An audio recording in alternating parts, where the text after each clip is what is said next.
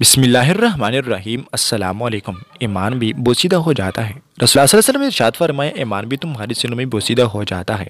جیسا کہ کپڑا بوسیدہ ہو جاتا ہے لہٰذا تم اللہ تعالیٰ سے دعا مانگا کرو کہ وہ تمہارے دلوں میں ایمان کی تجدید کرتا رہے